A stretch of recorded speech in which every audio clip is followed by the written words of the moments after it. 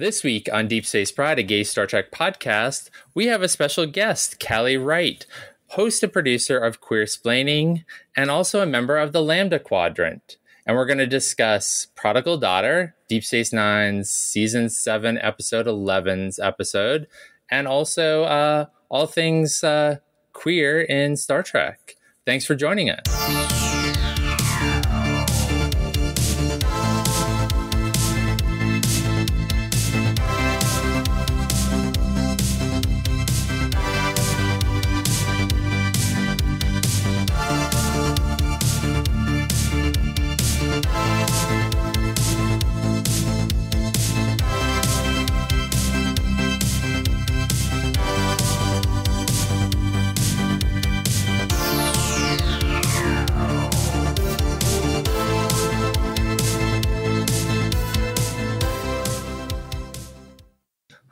Hi, Johnson. Hey, Mike. How are you? I am good. How are you? I'm annoyed that we're recording this for a second time, but here we are. That's fine.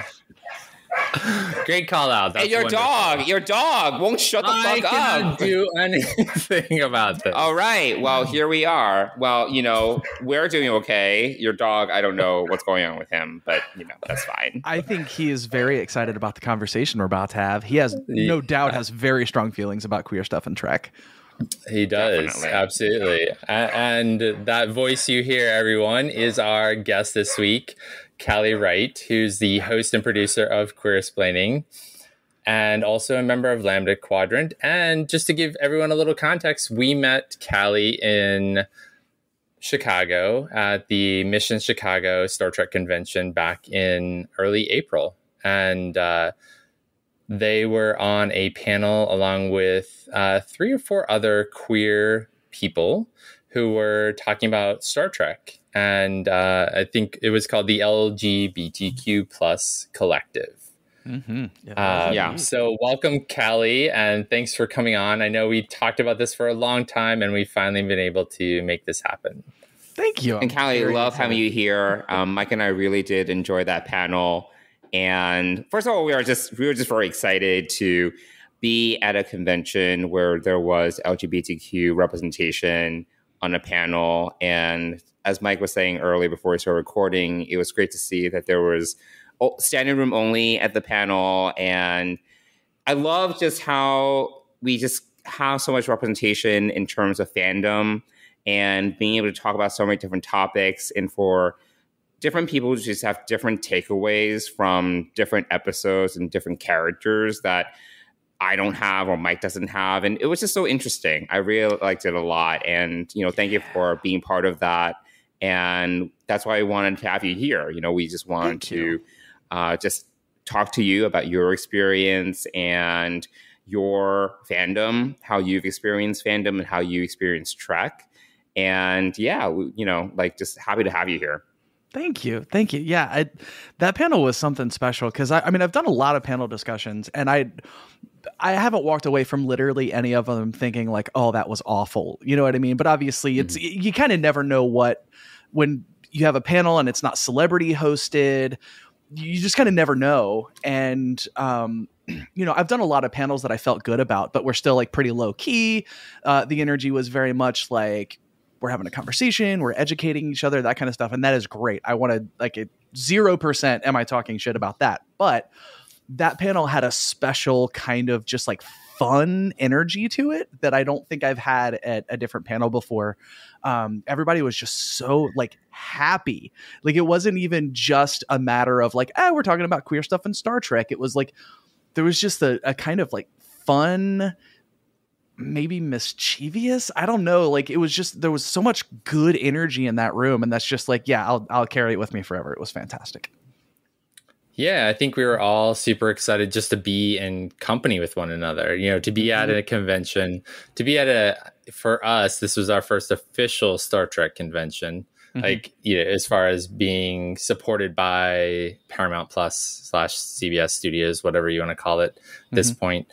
Um, so I think that was part of the energy was just the people who were there had been so it had been so long since we had had a convention mm-hmm. you know, and a good one, you know, although you know we we talked a little bit off air about you know some of the the foibles of, of the convention itself, but overall, I think it was just a great experience to be around other Trek fans like that in in a in a way that was just open and supportive and to hear you and the other panelists talk about your fandom and Star Trek and and specifically about the episode that we're going to talk about today, which is Prodigal Daughter.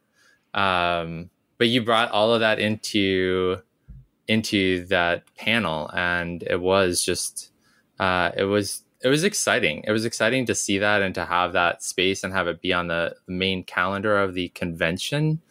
Um, can you tell us a little bit about how you got invited to that and like how that all came about?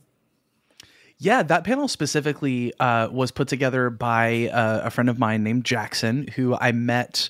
Uh, I'm going to be honest and say I don't remember exactly where we met, but it was in a, a queer Star Trek group, one of the many that I'm a part of on like Facebook or Twitter or something like that. And they just reached out and said, "Hey, I'm putting together a panel proposal for Chicago, and uh, you know, you have cool stuff to say about Star Trek, and is it cool if I like add you to a group chat so we can talk about it?" and uh, unfortunately, they had uh, they had their their COVID booster a day or two before the con, and they were feeling bad, so they actually weren't able to make it to the panel that they put together, which is very sad because oh, uh, they are also just an amazingly smart, insightful, funny person. Like I very very much missed having them on the panel. Um, but yeah, it was it was that group chat, and that was how I met uh, all the other folks that were on the panel. I had never met them in person before that, and I don't think that I had talked to any of those folks um, directly uh, in any significant way before we were brought together but uh you know they did a really good job like they you know, there was a google doc and there was a spreadsheet and all kinds of stuff where we were talking about it and that's uh, yeah um, i love spreadsheets yeah yeah yeah, yeah. Um and uh so yeah like all credit to those folks too. Like it was it was very well put together. It was a very smart, insightful group of folks that I was super super stoked to get to share the stage with. Especially, you know the, the in person interactions. I think that was uh, I think that was all of our first time meeting each other. Like I think some of the other folks knew each other a little better than I had.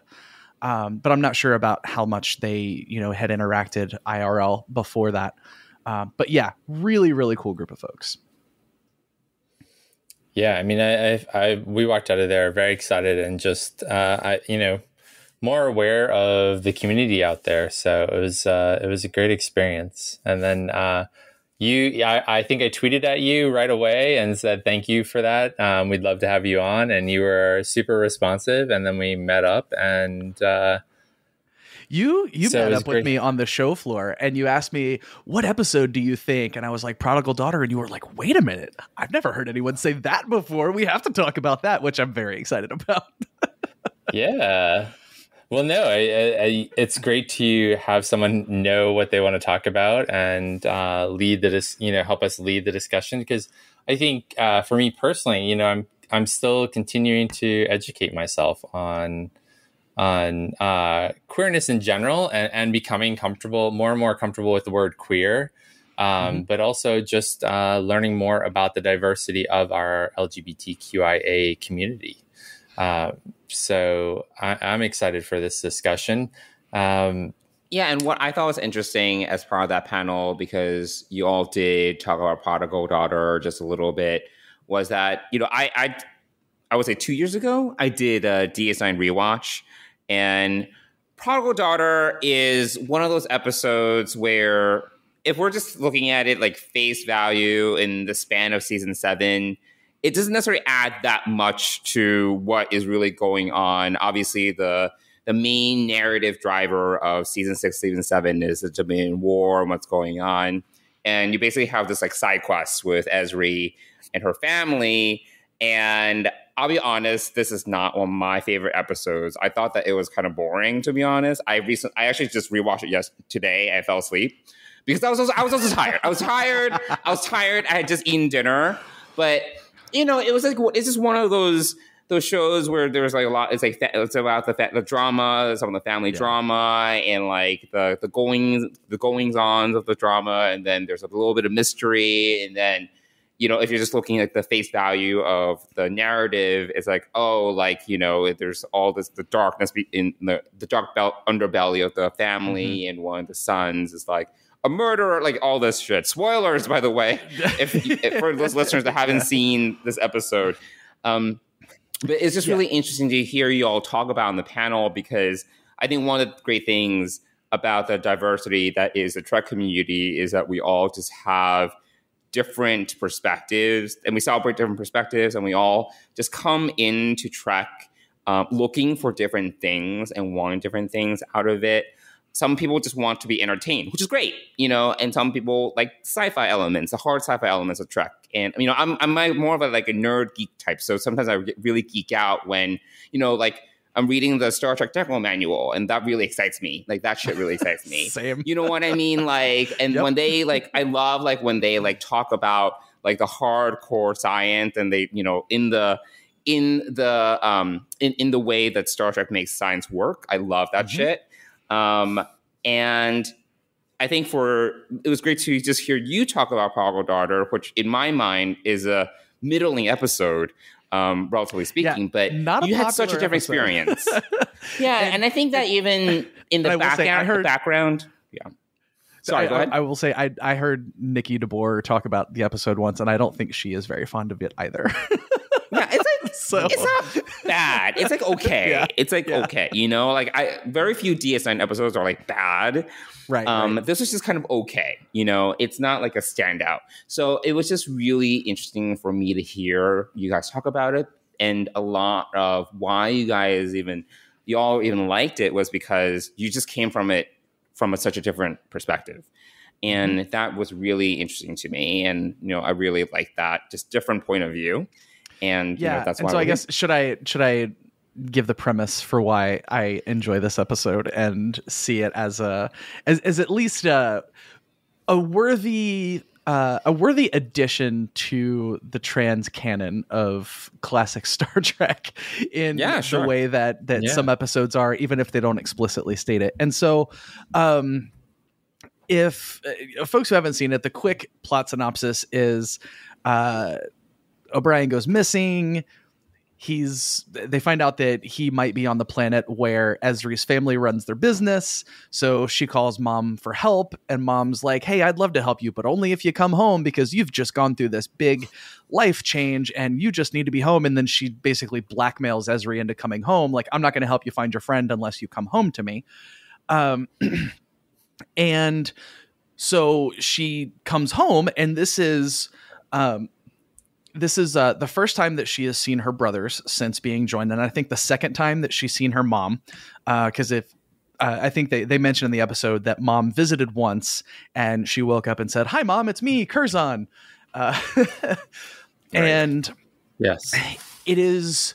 There's so much I see in that episode that uh, that one tracks with my experience of kind of slowly becoming unknown to people that I had previously known and cared about, and suddenly presenting yourself as a person who is uh, remarkably different than the last time I saw someone else. And there there all there's all kinds of awkwardness that can come with that interaction.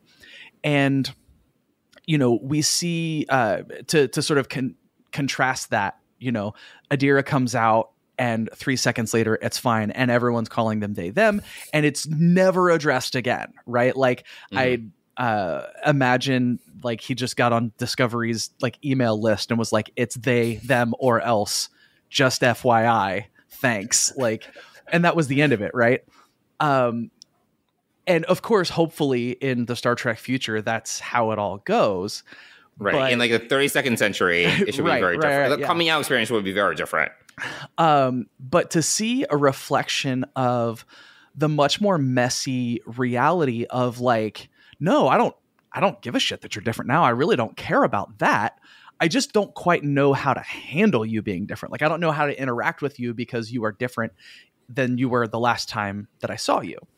And you know that this tracks with my experience in a couple of different ways right? So obviously when i come out and transition I, my physical appearance radically changes which uh, is a thing that takes some getting used to right? Like if somebody is seeing even something as superficial as like one day you've got a big full beard the next day you're clean shaven. One day you've got really long hair next like there's anytime there's an outward like radical physical adjustment there's an adjustment to be made. And then when you are suddenly faced with the idea that you might need to interact with this person differently so use a different name use different pronouns understand that um, their emotions might slightly work differently. The way that they react to certain social situations might be different now. And so you're kind of playing this game of getting to know someone a second time, right? And that is something that so many trans people go through, myself included. Um, you know, my mom is fantastic. I have literally nothing bad to say about my mom aside from the fact that she's a flawed human being just like the rest. She's made her mistakes. It's fine. She absolutely loves me. Never in a million years have I ever questioned that, right? But there have been times where I'm just like, trying to make small talk about my life. And it is just so clear that she has no idea what I'm talking about. There's zero cultural reference for what I'm talking about, right? And that's not a criticism of her, right? Like to be very, very clear, that's not me saying there's something wrong with her, that she messed up in some way or anything like that. It's just all of the sudden there is this way in which we cannot relate to each other and we have to figure out what that means right? Um a, really great example do you have an example. of that to kind yeah, of give was, a little bit of context? Yeah. Uh, yeah it was not you know be be as uh you know however personal or not not if you know you yeah know, well, and, and so this is comfortable for you. And this is kind of tangentially related to queerness and transness, but it's not explicitly the, either of these things. So lately, I have been really, really embracing and acting on the fact that my wife and I are polyamorous. Right? Uh, I'm married. I have a wife. She's wonderful. She's great. Uh, but we kind of are relationship anarchists outside of that, I guess, in that she's my wife i'm married to her she's like my life partner she's the one that like i mix finances with and that i expect to be with for a very very long time. But outside of that i date whoever i want i have sex with whoever i want and the only boundaries are be safe get tested don't lie about it right? Um and so i was talking to my mom on the phone one night about i had gone to a concert with someone that i'm dating and uh, and it was great because uh, my wife and I don't share a lot of musical interests in common. So like, there's no reason that my, my that my wife would want to come and see one of my favorite bands with me. She's not into crowds. She's not into loud music. She doesn't really like the music in the first place. And so if I took her to that, like, I would be grateful that she decided to came. But no doubt in my mind, she'd be miserable if she went and uh, saw one of my favorite bands with me. And I don't want to pressure her into that, right? Um, and so I went to a show with someone I was dating, someone who liked the band we were seeing, who likes going to concerts, likes getting hot and sweaty and dancing around or whatever. And so I was talking with my mom. I was like, this is such a great thing about polyamory, right? Like I can, you know, I, I don't have to throw a relationship away because of minor differences in our interests. You know, if I want to go like dance and get sweaty and kiss somebody while I'm watching one of my favorite bands, I shouldn't have to divorce my wife because she doesn't want to do that, right? And I shouldn't have to suffer and just saying, well, that's a thing that I'll just never get in life, right? Um, that's what's great about being polyamorous. Like I went to a show with this girl, I danced and got sweaty and kissed her and talked about feelings, and, and I came home and told my wife all about it. And my wife's like, "Great, I'm glad you're home safe. Glad you had a good time." And I went through all of this with my mom, and her response was, well, if you say so. um, just because the idea of arranging relationships outside of monogamy is just something that just does not really compute for her. Um, and not that she's like, well, that's shitty. You shouldn't do that. Whatever. She obviously supports me and she didn't come back with that, like, well, that's terrible. You shouldn't be doing that. Um, it's just very clear that she doesn't get it. Um, and so there is and that's that's become kind of an, an integral part of my life, right? That I have wonderful, loving relationships. Uh, some purely sexual, which is fine, but like very deep, rewarding, emotional relationships, uh, sexual and romantic, uh, with more than one person. That's such a huge piece of who I am and how I express love and how I receive love. And it's something that's very, very important to me and something that I don't know that my mom will ever understand. um, or you know when to make it a more directly uh, trans related thing, you know, my mom uh, came with me to take care of me after I had bottom surgery, Uh, my wife and I had bottom surgery very close to the same time. Uh, my wife's mom came and took care of us for a while. Then she flew home. My mom came and took care of us the rest of the time. And uh, again, 100% supportive. Like, went right back to playing like I'm mom, my kid's sick, I'm going to take care of my kid, I'm going to make sure my kid has dinner and water and like all of that stuff, right? Um, but when I would try to talk to her about, you know, dysphoria and like, you know, why all of this is important and like what this is going to mean for my life, that is all so very, very abstract to her. She loves me, she supports me. It's wonderful. I have nothing bad to say about her, but that's just a way that we don't have available to connect with one another. And so to bring that back to prodigal daughter, where, you know, Ezri comes back and she is talking about how uncomfortable she is dealing with her family, how she can't keep pronouns straight. She wakes up and introduces herself as Curzon. You know, at the beginning of, of, of your journey of of being trans, very often there are so many things that you're unsure of, right? Like maybe maybe you know, like yes, I am trans for sure, but I'm not 100 percent sure. Am I non-binary? Am I uh, binary trans? Is there do I want to do hormones? Do I want to do surgery? Do I want to change my clothing style? Do I want to change my name? What do I want to change my name to? There's just all of hmm. these things that you're trying to figure out about yourself. And there's also a way in which it uh, opens up a lot of questions that you hadn't even thought about before, right? Because like I first came out as trans when like eight years ago, um, and I figured out I was non-binary like three years ago, uh, four years ago, something like that. And so there's a, it kind of like opens up a lifetime of identity exploration that a lot of people go their entire lives without ever doing and so there are certain kinds of people even the most wonderful supporting people in the world if you try to talk to them about stuff that's just so far outside their life experience they could i mean they could spend all the time and effort in the world and, and just not quite get it um and I, I, feel the need to keep saying this. I just want to make it very clear that that's not a knock on those people, right? Like that is not an insult at all. Um, it's just that on a certain level, if you don't have a specific life experience, you're not going to be able to understand that specific life experience. And when you figure out that you're queer, when you figure out that you're trans, there are a lot of things that can happen that sort of alienate you from the experiences of people that you knew before in ways that make it that can make it tough for you to interact with one another in ways that it may not have been previously. And so much of that episode is so much of that playing out. Um, because it, especially because I think, you know, when we go through this, like, obviously her mom is overbearing, but I don't mm-hmm. think her mom's evil. Uh, obviously her brother kills someone, but I think her brother is a scared, traumatized kid too. Like mm-hmm. I don't think he's right. a mono. I, I, don't think he is actually an evil person. He's flawed like everyone else, and made and ultimately made a horrific decision. Um, and then you know, Big Brother again. He's got a lot of pressure on him. He's making decisions. So also her family feels very real in that way that they're all obviously flawed people but not obviously bad people. And right, they all very evidently love each other very much and want to connect with each other very much. And they're, uh, and, and specifically, Ezri uh, getting joined puts up some barriers that weren't there before. And so just almost every family interaction that happens has that in context with it. And so for me, I see every one of those interactions through that lens.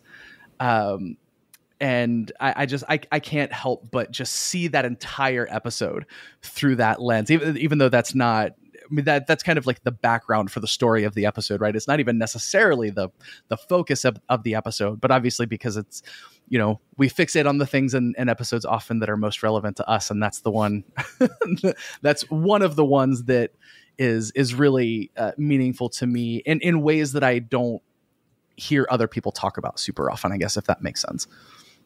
Yeah, totally. Yeah, yeah. Go ahead, man. Um, one of the things that came to mind for me is uh, you mentioned that, uh, and and this this isn't this is sort of not on Star Trek. This is more like real life, just to help help uh, our listeners and help us be better about connecting with people with different experiences.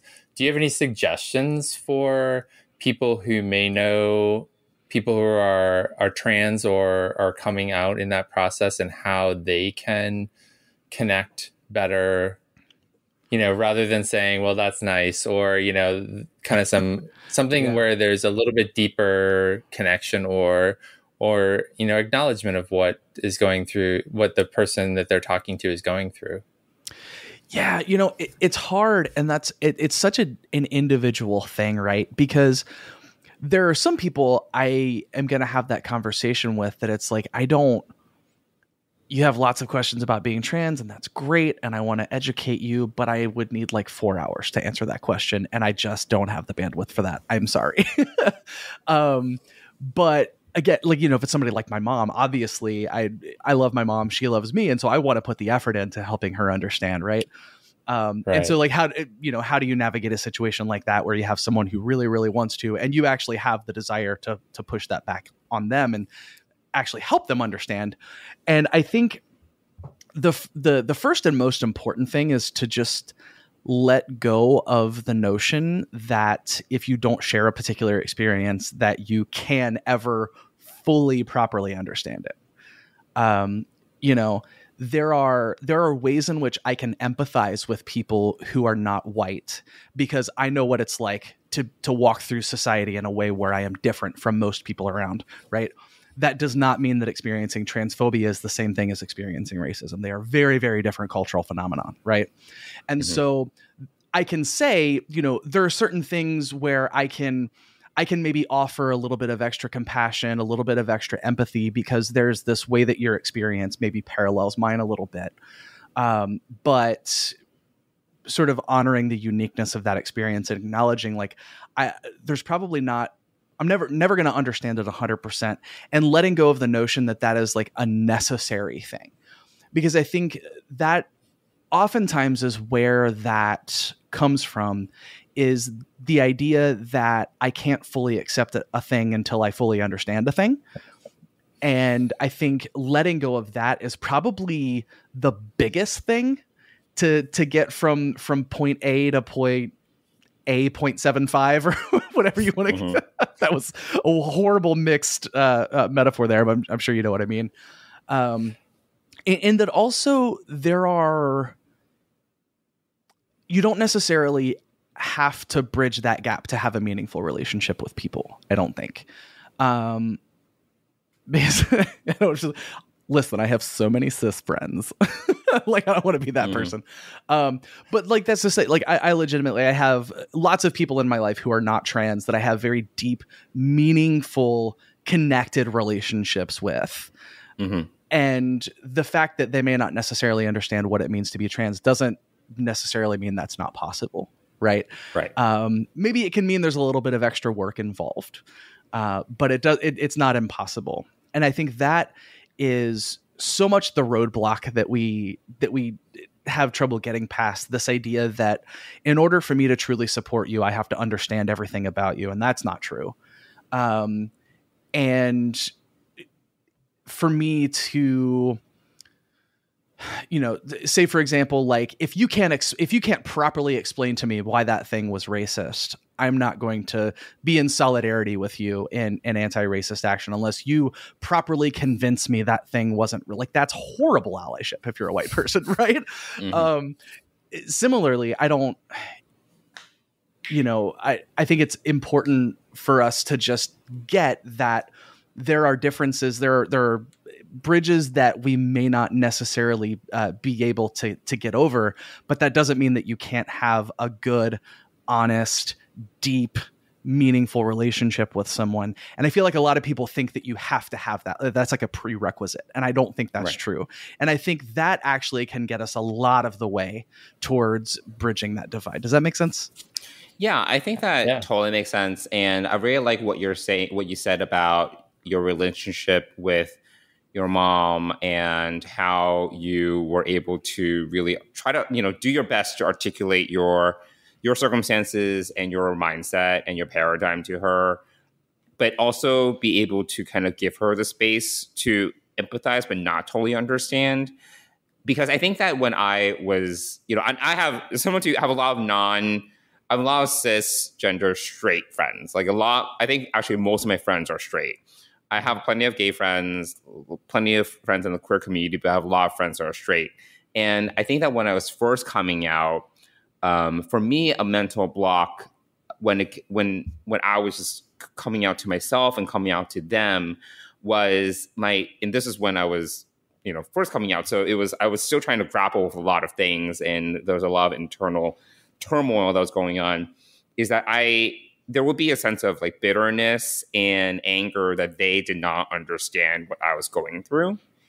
And that changed over time you know and i was able to give them and i think you know we in the queer community have through our own experiences and through our own need for empathy have also been able to give others the grace to not understand us and to be like that's okay if they don't totally understand like exactly what we're saying it's okay that other people that are different from us don't understand us but that doesn't necessarily mean that we can't form form these deep relationships with them that we can't have these meaningful conversations they as long as they are giving us a space to be able to articulate who we are that's fine. You know, we have we come from very different backgrounds, and like I can't ex- like similar how I do not relate to my straight friends with their straight marriages with their kid their, their three kids. I don't want yeah. kids. You know, I can't relate to that yeah. life. Yep. You know, they, you know, and similarly, I can't expect them to relate to me in that exact same way. And yeah. I think that it just took me some time to kind of get to that point. Yeah. And and I think you know, another big thing to think about is how that anger and bitterness gets directed because I certainly share it, right? But I also think that, you know, the same, I guess, cultural forgetting that colonialism in the United States has foisted on us about, like, you know, it's a lot more complicated than this, to be fair. But the dominant culture that we live in kind of invented the gender binary, right? Like if you look at human civilizations that existed before colonialism, before, you know, that specific brand of European Christianity colonized the world, right?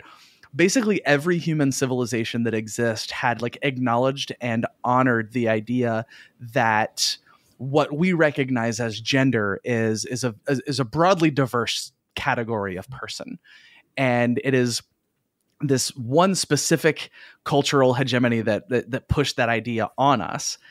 Um, but you know that idea that robbed me of that understanding for myself for so long that's actually what is robbing my cis friends of the ability to understand me right like if it is so difficult for a cis person to understand the trans experience I I put a lot of the blame for that on the dominant culture that we live in, as opposed to each individual cis person, right? Because like I grew up in the same fucked mm-hmm. up gender soup that everyone else did, and to be entirely fair, the main reason that I understand any of it is because I happen to be trans. you know, if I had been born as a cis white dude, I don't know that I've I don't know that I would have gotten there. Maybe I like I hope I would have. Uh, but I like to be entirely fair, like I don't know that I did for sure. I, or I don't know that I would for sure. And so I think there is, um, you know, I, I have such a complicated relationship with the obligation to uh, to automatically provide benefit of the doubt, right? Like if somebody says something really ignorant about trans people, um, or, or, anything, honestly, um, it, especially about things that don't super affect me, right? Like as a white person, I feel far more obligated to engage on topics of racism than I do on topics of transphobia because transphobia is so personal to me that I'm just like, I don't, maybe I'm just going to run away from this one, right? But like if somebody says something silly, there's at least a part of me that has to consider for like a hot second, like, is this person engaging in good faith and they're just ignorant. Like they they actually do have all of the best intentions in the world and they just don't have the knowledge, the experience, the context to understand what's happening versus like is this person being actively hateful? And I think I don't know. I think that distinction matters a lot less than a lot of people would have us believe because I think a lot of people think intention is everything and impact it doesn't matter and I am certainly not one of those people. Um, but you know, when somebody says something just like hellaciously ignorant about trans people, there's a part of me that's like, are they saying that because they just don't know? Are they saying that because they're an asshole? Because the, the, those are different things, uh, but they're equally hurtful either way. And so, like, how do you navigate? You know, I want to hold this person accountable, but also if I'm like, hey, you asshole, what the fuck is wrong with you? At that point, then I don't have any chance to change that person's mind.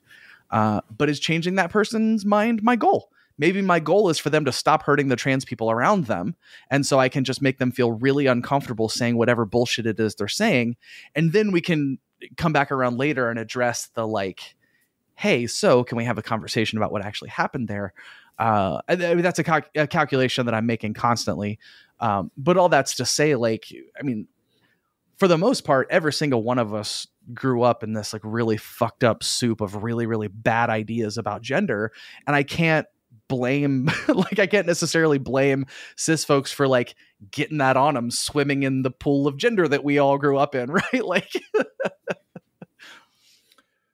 Yeah, I mean it really boils down to how much do do people want to do the work to yeah. to begin to understand or to take into account uh, someone else's experience. So it's it's really and, and that that is a crapshoot these days. You really don't know. You know, you don't know mm-hmm. what, if it's, you know, for racism, transphobia, for anything related to women's rights, um, any, you know, it's really hard to know these days whether people are are operating in, in good faith. So I don't, you know, I, I I can't imagine in your experience how how often you really think, do I give this person the benefit of the doubt or not?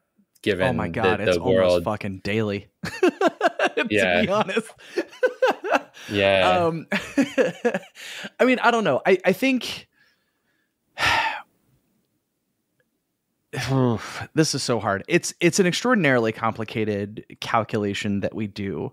Um, because obviously, I mean, the fact that I am sitting here as a non-binary person, like it, it, would be hard for me to argue that there's a right answer, there's a wrong answer, there's good and bad, and that's all that exists. Like that's just not how the world works. Um, but the world also, is not ones and zeros essentially right you know, exactly exactly. And yeah. and what becomes difficult about that is uh, so all of that being true what is your personal responsibility right? That is a hard question to answer um, because you know what is my mental health as a single person in comparison to the well-being of all trans people? Why the fuck do i even matter right?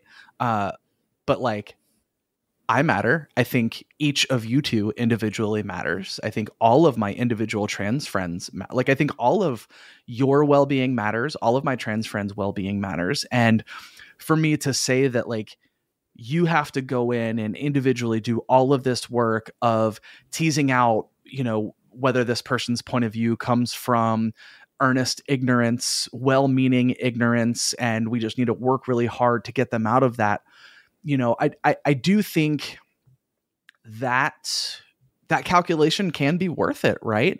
Because I've chosen to take a chance on people before and and blessedly turned out to be wrong. Like like wow, like you really put in the work and you got it and I was not sure that that was going to happen. Um but that is so rare that statistically, if I erred on the chance of giving no one the benefit of the doubt, there would be very few misses. you know what I mean? And that also means that I end up in a much better place in terms of my own mental health, where I'm not constantly trying to justify my humanity to everyone I talk to.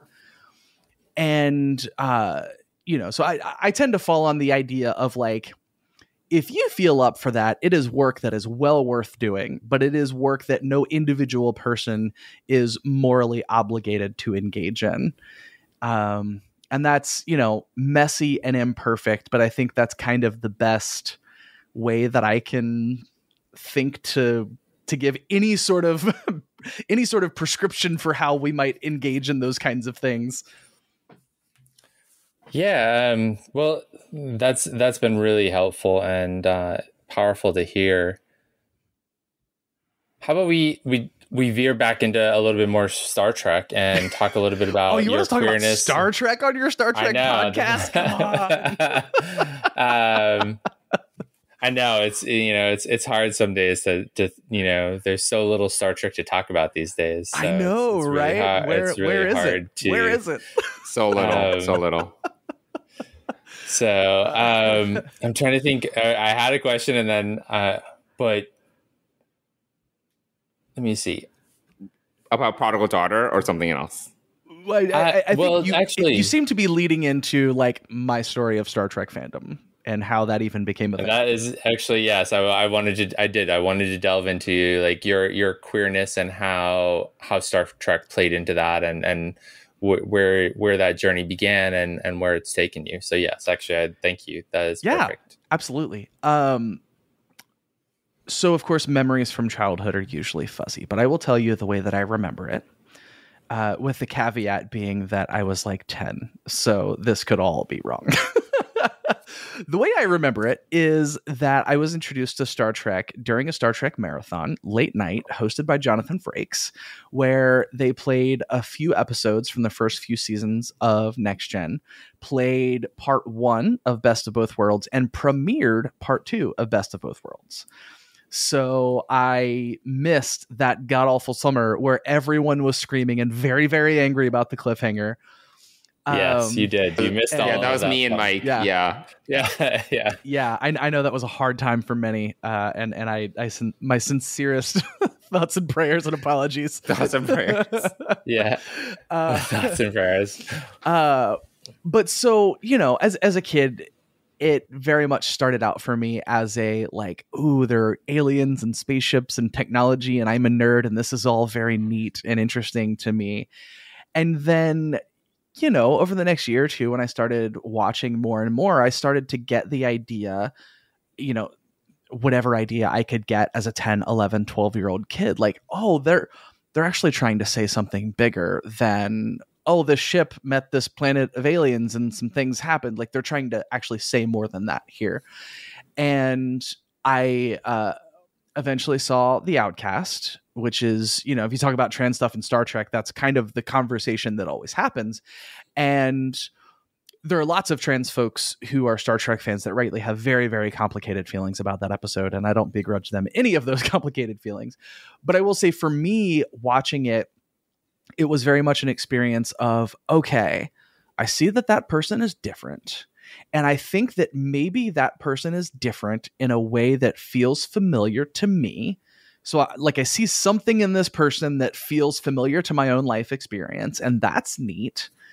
And you know then i see oh but like nobody on this person's planet is okay with how this person is different but all my friends on the enterprise are all ready to, to defend this person. And they they not only think that it's okay for this person to be different but they think it's cool as shit that this difference this person is different and they want to understand this person and they want to like dig into like you know what is life about for this person? What can we learn from them right? And so that was all super super appealing to me as a kid and so i was just immediately hooked from both sides of the equation from the just like really cool interesting sci-fi stuff to the like these stories are saying far bigger things about life side of things and so i watched um ds9 from right around the time that it premiered all the way up through the finale. I, I remember watching the premiere of voyager when it first premiered and then um, for a while, our local UPN affiliate dropped their UPN affiliation, and I couldn't watch the end of Voyager, so I didn't actually see the end of Voyager until. Oh, that's so sad. I know, right? Oh, so, I didn't. Yeah. I didn't see it until until Voyager was added to Netflix. I did a whole rewatch and finally got around to it. Uh, oh wow! Okay, but so yeah, yeah, yeah. Uh, and so you know, it, it's just been kind of a lifelong love uh, from the side of just I'm a nerd in technology and the future and aliens and that's all cool to like you know the stories that this thing is telling and how we interact with those stories can have so much uh, more profound implications for our humanity, for the way that we interact with each other, for the way that we think about our impact on the world and the universe around us, and all of that. Like it's been cool to me from both sides of the equation. Um, and I also just, I mean, Klingons are rad, and I speak a little Klingon and it's cool. And I, I, I will I will scream until the day that I die to really, really get to know some Klingons that exist from outside the military and government hierarchy. But that's a different podcast episode. I just felt felt the need to. that's great. Um, well, speaking of, so you watched DS9 all the way through from the beginning. Mm-hmm. Um, did Jadzia and uh, you know, uh, fortunately, unfortunately, Ezri. Um, I, I was a huge Jadzia fan, so did did you identify with them right away, or uh, was that something that grew, or did it happen after Jadzia died and we got Ezri? Definitely did not catch on to it right away. I will say it's you know maybe within the last five or ten years that I've really really started to get all of the gender implications of that. Um, because you know I was I was thinking far more in terms of the the nerdy sci-fi aspect of it than the more general broad philosophy of it. Um, so no, no, as a kid, I, I didn't really see that in Ezri or Jadzia. I very much do now. Uh, but as a kid, I, I, I did not really. I mean, aside from um, rejoined, of course, because it's a little more explicit in rejoined. Yeah, that was much more explicit yeah. for sure. Yeah, yeah. Uh, but uh, you know, I, I like to say, you know, if if I'm ever asked to give like the best, most accurate description of my gender identity, I can actually only answer that question in a room full of other Star Trek fans because the best way that I can possibly describe my gender identity is newly joined Trill. And it's specifically because of Ezri and just how like what the fuck even am I anymore after this thing has happened to me? I don't understand anything about myself or the world. um, so essentially, an unjoined, uh, untrained Trill who did not go through any preparation for the joining at all. Yeah, yeah, yeah. yeah. And I mean, separately from that, you know, I can say, you know, who do I want to be from Star Trek? Jadzia, for sure. Who actually am I in Star Trek? Ezri, for sure. yeah, Ezri, early season seven. Yes, absolutely. Just like yeah, yeah. unsure, like I'm even like I'm self-aware enough to know that like I'm a pretty smart, I'm insightful person, you know, and I think Ezri probably knew that about herself on a level as well. But she just had all this stuff going on that threw her confidence and all of that completely into chaos. And so yeah, it's just it it fits so much. so what um so jumping ahead to modern Trek as I guess we'll call it uh where the platinum where and age. what do you yeah uh where and what kind of appeals to you and what where do you see um see the the growth uh the change the changes in in how Star Trek approaches gender and identity and the LGBTQIA community? Uh, where do you kind of where where does it begin for you, and and how does that um, yeah how does that come up? You know, it, it it's interesting. I love that newer Star Trek is just so fucking queer. Like my god, it's so queer. Like I god, I love how queer it is. Um, but you know, the thing that I wonder and I bet there have been some amazing conversations in the writers' room about this. I would just love to be a spider under that table. Um, you know, as as a show that exists in a time where we would hope that nobody gives a shit about you being queer, how do you have those conversations? Because we have to keep in mind that we're making shows for a modern audience where the existence of queer people is still very much controversial. Um, but we are making this show about a time where ostensibly no one should care. So it's right. an important conversation to be having. Is those people simply existing in that universe enough of a commentary? I don't actually know the answer to that question because I, I think there is value in simply having a character that is queer that you see as queer and you don't have to unpack or explain it too much. Um, but I would also love to see Star Trek answering questions about queerness and gender that are maybe 10, 15 years ahead of where we are now. You know, discourse that's happening in the queer community, specifically about like acceptance of asexual folks, for example. Like, shout out to my ace friends. I will punch somebody in the mouth over uh, over uh, being uh, ex- exclu- exclusionary toward my ace friends. Um, but you know, I, I, feel like outside of the queer community, that discourse is basically unknown.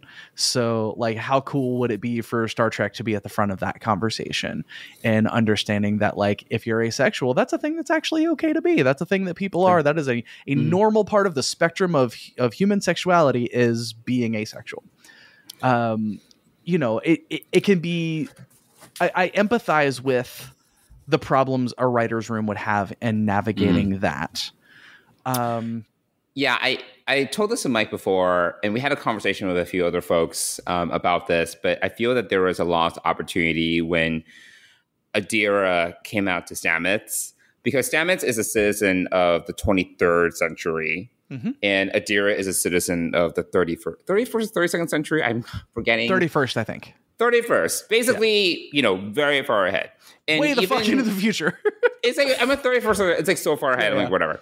Yeah. But even the disparity between Stamets's experience and Adira's experience should be so different that I thought it would have been really interesting for Adira's quote unquote coming out scene to be so like so like parallel to maybe how it would be in our day and age in the sense that for Stamets it's a big deal, but then for Adira it's not a big deal because it's you know they're so far ahead of where they are. You know if that makes sense.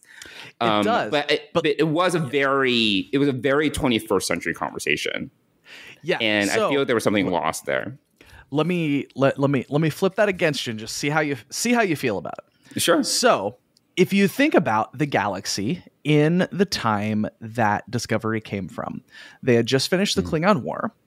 Mm-hmm. Other than that, no hugely horrific impending disasters happening, right? So, like, they're heading into the time of TOS where there are certainly individual conflicts to be had, but nothing that is making the entire galaxy as a whole feel like, holy shit, we are in trouble. And so I would say as utopian a scenario as the galaxy gets is is what we are heading into like post season 2 of Discovery, the time where uh, Discovery is coming from. And in times of peace and prosperity, generally speaking, societies tend to progress a little bit socially because we're not constantly trying to figure out like oh who is the other that we can blame for whatever horrible circumstance we're having and of course in times of mass disaster societies often will tend to regress and so this was my argument for why like why should adira even be afraid to come out in the way that they were and for me, I find it very believable that Earth society could have regressed to the point where it might actually be a thing for them to come out, right?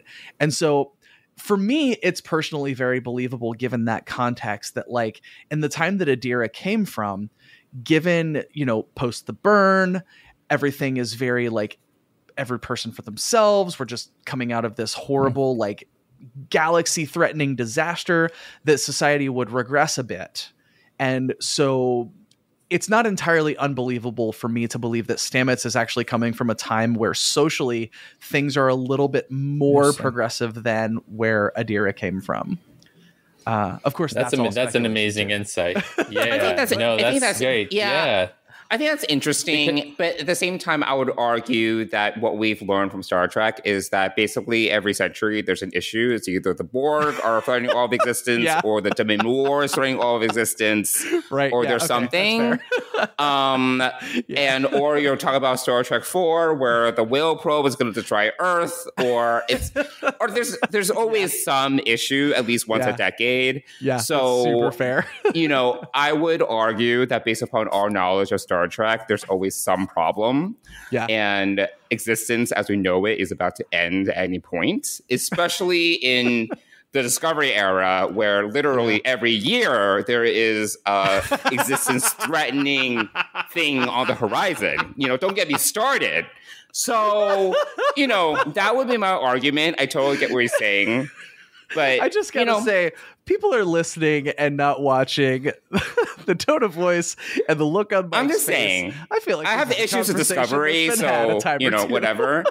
um, but you know, every yeah, it's basically every year like existence is on the edge of doom. Uh, so you know, it's but, it's something. There's always something. So I, I will yeah. say I love. I mean, I, I, will say I love how casually queerness exists in in most of new Star Trek. Sure. Um, I will say that I about had a fucking heart attack when Culber died uh, in season one. I the first time ever I was watching a TV show and I literally had to pause the show so I could catch my breath and calm down for a second so I could finish the episode. First time that's ever happened was in that episode when that happens. Um uh and I'm I'm not a super huge fan of basically all of Culber and Stamets' relationship for a long time being entirely focused on the trauma that they experienced. Uh, I get it; it wouldn't be a show if characters weren't working through conflict. Um, but it still feels very like bury your gays trope adjacent. Um, mm-hmm. I would love if like the first important fact we learned about Jet Reno wasn't that her wife died. you know, like like uh, I, I would love it if uh, we met Gray at a point other than the time where he dies. you know, like there and again, like th- this is a show where the stakes are high and everyone is in the midst of disaster. So if a character conspicuously didn't have trauma, that would be weird. I get it um, but it, it feels you know like we're we're giving very specific extra trauma to our queer characters in Discovery, and I don't super love that. Uh, as much as I love the toothbrush scene, the legendary toothbrush scene, it was fantastic. Uh, and as that much is as my I favorite love, scene. So, so that I think Yeah. that just Uh, life cha- life really felt different after that. After seeing that in Star Trek, for me personally. and yeah, and, and and in later seasons, the way that uh, Culber and Stamets communicate with each other and they talk with each other and they're like vulnerable and honest with their feelings. Sometimes they fight a little bit. Sometimes they're a little playful. Like that all feels very real to me. Like that is like I know se- I know several several queer men that are that couple, right? And that's wonderful. I love that. Um, I love Adira. I love Gray. I hate the fact that I feel like Gray is probably not going to be back next season. I don't know that for sure, but I just feel like that was set up for the fact that like he's probably not coming back. But I also Um, feel that they don't know what to they don't know what to do with Gray if he if he's not accessory to Adira. This is this is my they, they didn't really Yeah, give him yeah. enough. Yeah, And I yeah, you know, he's would like agree with that. going back to Trill, I'm gonna be I don't remember like uh A guardian, whatever they call it. Guardian, thank Guardian. you. Yeah, Yeah. See you later. I don't Yeah. I don't really feel they Um, knew what to do with him. So I will say sad. the the the bit of the bit of queerness that I just have nothing but praise for is goddamn Beckett Mariner. She is the disaster bi Yes. that we all love her. Beckett Mariner. I Uh, love her yes. so fucking much. And the fact that Lower Decks is now doing the enemies to lovers trope thing with her and Jennifer, I just cannot get enough. Like injected into my veins. It is so fucking good. So I'm a big fan of that. I also love that very casually we learned that Nurse Chapel is queer. Yes. Uh, big fan of that. Um Yeah, loving So- Strange New Worlds. Since you know we we opened up that can of worms, it's just the the way that they approach queerness is very just matter of fact. Um, we talked about Serene, the Serene Squall before we started recording, but they don't even make a big deal that Captain Angel is non-binary. Like it's just part of the conversation. They don't make a big deal of it. It is what it is. It's just a fact of life, and I really like that. And they're smart. They're cunning they're recurring, which they're definitely going to be recurring, hopefully. they're hot And- as fuck. Like, let's just go ahead. So and say it out loud. confident. Like, Yeah. They're so you know, I, I, I thought that they did such a great job with that character, and what you're saying about Nurse Chapel, just like these small things where it's just part of life, and it doesn't need to be a big deal, and it's just part of who they are, and people recognize that and respect it. It's great. I love it. I uh and here's the thing, I am sympathetic to people who are a little tired of bisexual folks being the villains, pansexual folks being the villains. Like you know, you the sure. there's the the very quick reference to Mirror Universe Stamets is pansexual because we all know the duplicit the duplicitous types are the non-binary folks and the bi and pan folks because they can't just fucking pick one, right? Like that that's a very very uh, long-standing trope, especially in Star Trek. And so I am sympathetic to the people that are like, ugh we get another non-binary character and they're a villain. Come on. But also like that specific villain, come on. Like how can you not see that they're just one of the greatest? like just so I mean, this is uh this is Strange New Worlds uh Harry Mudd version of Harry Mudd and what a great uh you know, Jesse did such an amazing job. She owned every scene that she was in. And yeah, just, uh, it was it was um, amazing in so many ways. Like the uh, a, a thing that I in particular appreciate about, for example, uh, Sonequa Martin Green, the way that she does Burnham. There is a subtlety to her performance that I'm just like, wow, you know what? Like, I'd probably like it and be fine with it if someone else was doing it. But the specific way that she is acting this part just adds an extra thing to it. And I feel like Angel was very much the same way. There was a subtlety to the way that they acted that it was just like, wow, there's like, there are layers here. It's a very, very interesting and nuanced performance that it's like, I'm actually fine with having another non binary villain because it's this specific one. Like, they're just that good. I'm just going to roll with it. Yeah, I would agree. What do you What do you think about the conversations that uh, Angel and Spock had and how that reflects um, otherness and identity in in Star Trek. And, and just for for those of us watching and, and trying to who might be struggling with you know I'm I'm not this or that uh, you know or you know if I if I am not this or that what am I? Uh, it's hard. Like I, I don't like I, I, wish I had something super profound and meaningful to say about it aside from the fact that like when they were saying that I was like wow yeah like it's mm. you know th- there's something I, I don't want to say comforting because it's like well hopefully in 300 years the people won't have to have those conversations anymore but I guess 300 years from now even if we're not having that conversation about gender we'll be having that conversation about some other aspect Something of else. who we yeah. are right and I yeah. so I feel like that's kind of a universal thing, you know. Um, I think the profound thing about what Captain Angel, or at the time, what was her alter ego's name? Sorry. Oh gosh. Oh shit. I don't. Whatever. Now that we called Whatever. Them, now yeah. that we called them Angel, it's uh, it's hard to go okay. back to what they but, were. But what was great about that Dr. Scene, Aspen, Dr. Thank Aspen. you, Dr. Yes, Aspen. Yes, yes, Aspen. Yes, yes, yes, yes, Is that the conversation with Spock in in Spock's quarters was when Spock was like, "Well, if I'm neither Vulcan nor human, then what am I?" Yeah. And Dr. Aspen was like, "I can't answer that question for you. You need to answer that question." And I think that ultimately that is the answer that you need to go through that discovery and figure out for yourself because no one else can answer like where you fit and who you are. You need to figure that out. And I think that's the journey for all of us right? Like, I, I I'm I'm comfortable with being with people saying that I'm gay. I'm, I'm comfortable with saying that I'm gay, but my idea of being gay, quote unquote, being gay, may be very different from what Mike's idea of being gay is. Mm-hmm. And I think that's what's beautiful about this community is that you know even though we we celebrate these labels or celebrate our, our diversity, we all are on a unique journey, and no one can tell us what that journey is. Yeah, and you know that's there, there's a push and pull that I talk about a lot, especially with folks who are just figuring themselves out in terms of queerness and transness. And, um, you know, I, I always say that, like, you know, when, when you're trying to figure yourself out, understanding that the way that we think about gender is some things. It, it's a thing that some people decided on and they made a call. Like if you fit within this box we're going to call you a man. If we if you fit in this box we're going to call you a woman. Um, because by our observation most people who have these characteristics are x and most people who have these characteristics are y so on and so forth right?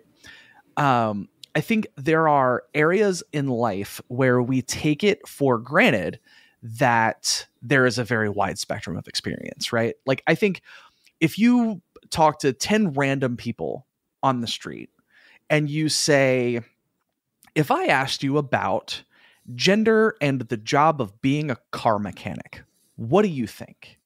I think the average person would tell you that, like, you know, there are probably more men who are car mechanics, but you could be a woman and be a car mechanic, right? Like, it might be harder for you because of misogyny, uh, but like, there's nothing about being a car mechanic that should call into question your womanhood, right? The idea that m- being a car mechanic is a man thing, like, that's just a thing that some people decided. and I think there are a lot of more esoteric identity questions that we need to have that same attitude for, right? Uh, like most people who are born with penises grow up pretty comfortable with being called men, and that's cool. There's nothing wrong with that, but that doesn't make it inherently the truth. And that when we pick apart what we are handed in terms of what makes a man, what makes a woman, what makes a non-binary person, what makes a trans person, what makes a queer person, uh, there is there are zero people who will tick every single box simultaneously of what we associate with those things. And I think those of us who are other in one way or another, it is harder for us to come down on where we are because we don't have that external validation of whatever box, whatever label we think fits us best and decide to declare, it is so much harder to find external validation for those things. And I think a lot of people take that for granted because so many people who get external validation for everything their entire lives think they don't need it. And that's only because they've never experienced not having it, you know? Um, and so to to bring that back to the you know to the topic of conversation is I think that's a very acute and discrete way of experiencing it, right? Like I am halfway between between two very discrete worlds. Like that's a very easy way to express that conflict. But I think that is a conflict that is near universal to the human experience. Uh, it's just that most of us experience it in a much more subtle and messy and complicated way. Uh, and those of us who are, I don't know, gender weirdos, I'm a gender weirdo. I don't know. That's probably a problematic term. Uh, but those of us who just kind of don't fit, uh, we have like so much extra work to do to figure out where we fit.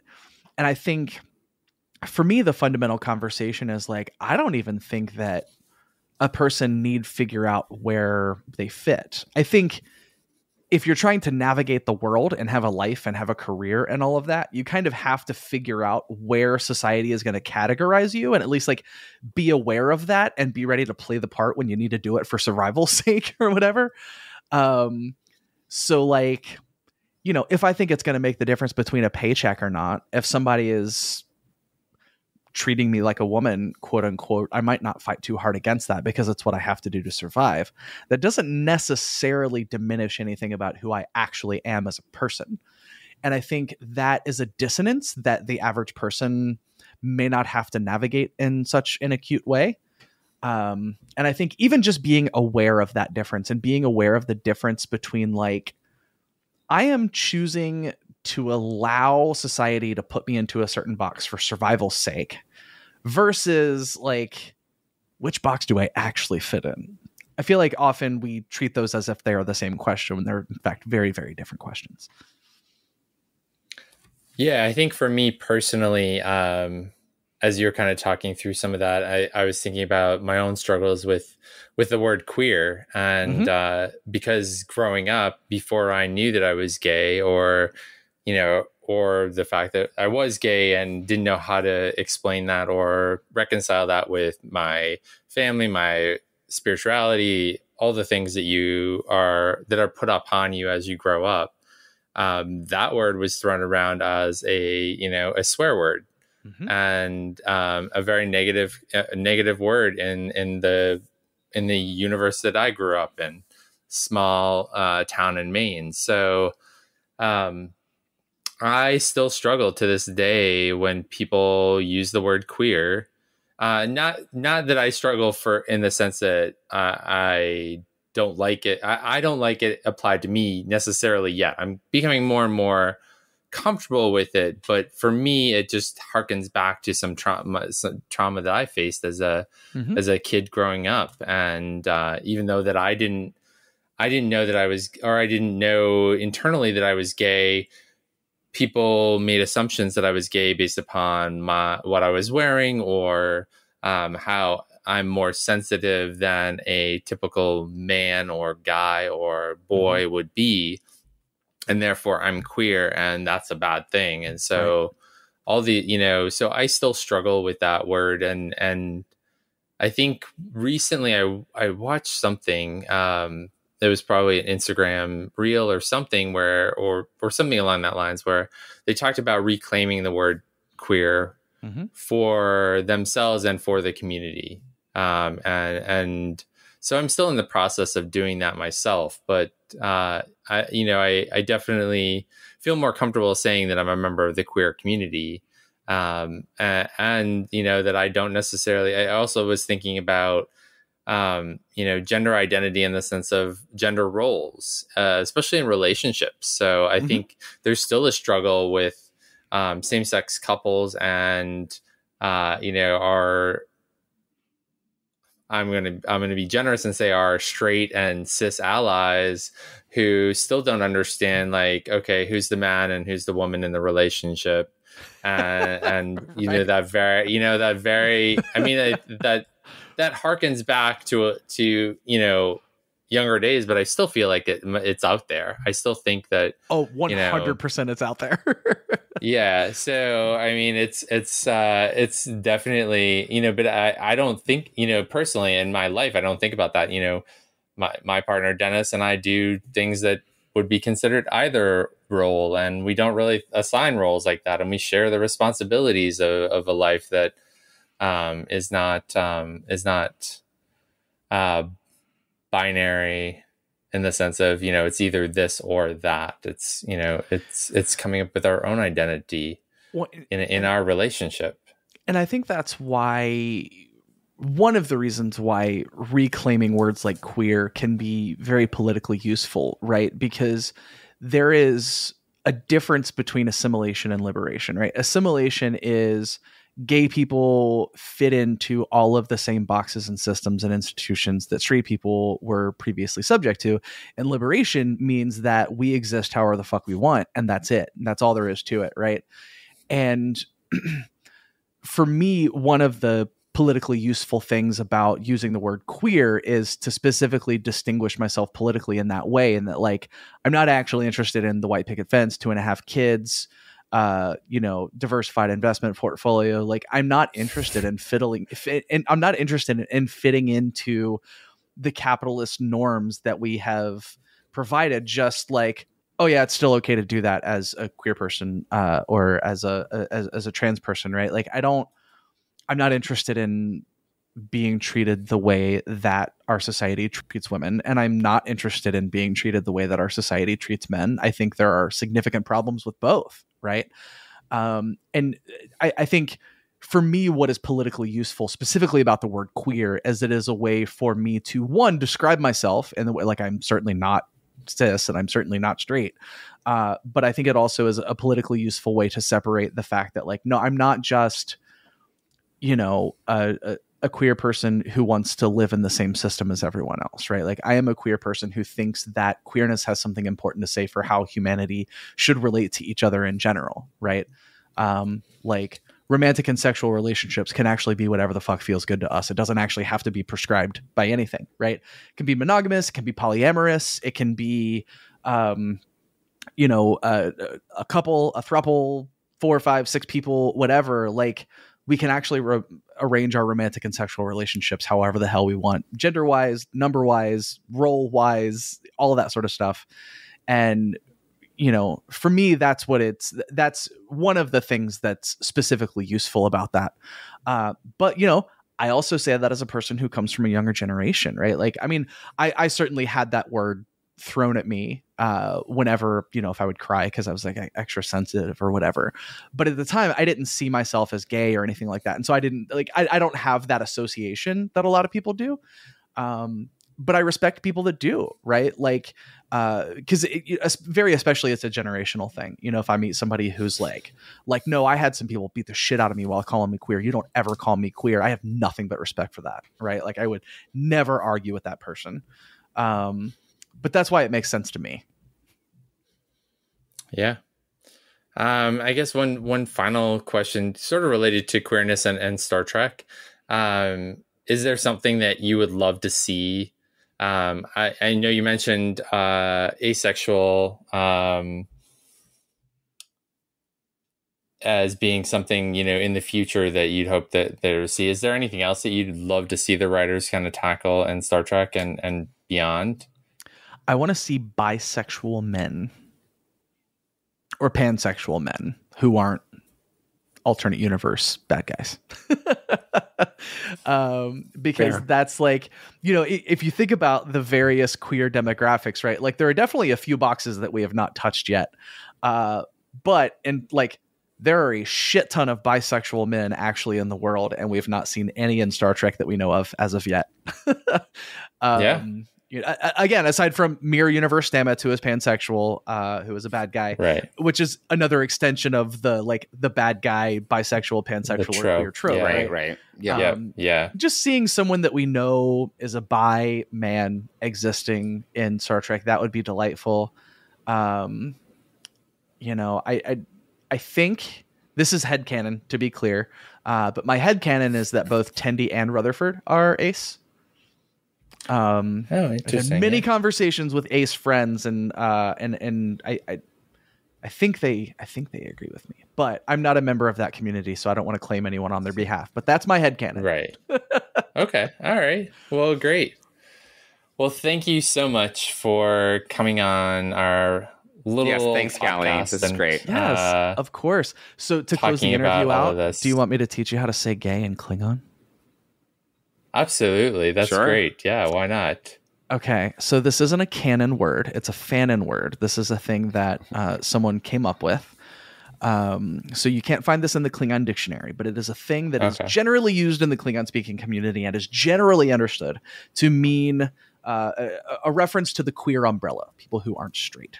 So, three syllables: char, a, ngan. Char. Har. Har. I can't roll a. my tongue. A. Yeah. Har A. Non. Non. Har no. a non.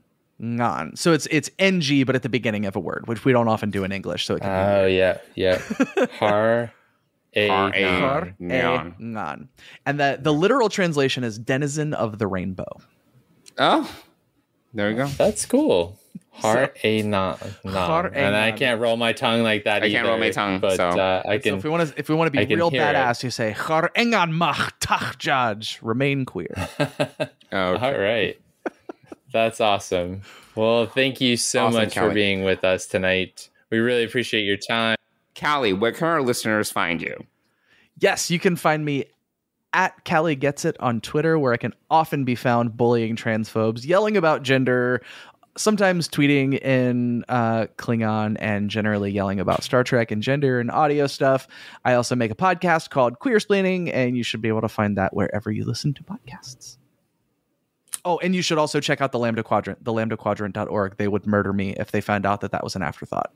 It's not an afterthought. The Lambda Quadrant folks are the reason that I was in Chicago.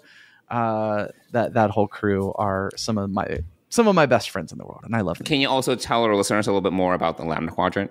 Yes, absolutely. We are a queer Star Trek fan group. Um, so uh, we do panels and events, and uh, sometimes we'll raise money for organizations that we love, and uh, that's that's mostly what we're about. Just talking about gay stuff and and Star Trek. Why is Star Trek gay? All of the reasons. Why is everyone in Star Trek gay?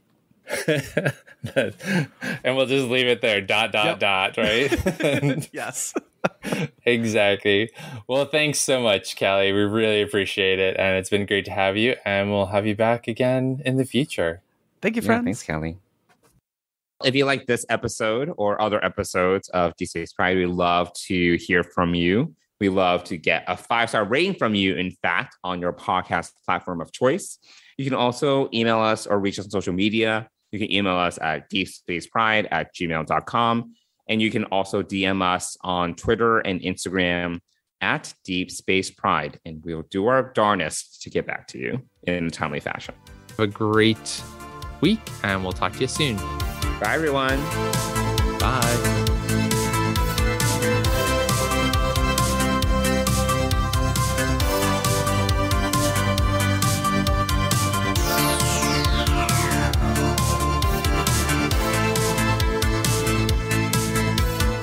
Deep Space Pride is a production of Coconut Media Works. Executive producers Bill Smith and Dan Davidson. For more great Star Trek discussion, discover the other shows of the Trek Geeks Podcast Network at trekgeeks.com or find us in Apple Podcasts, Spotify, or your favorite podcast app.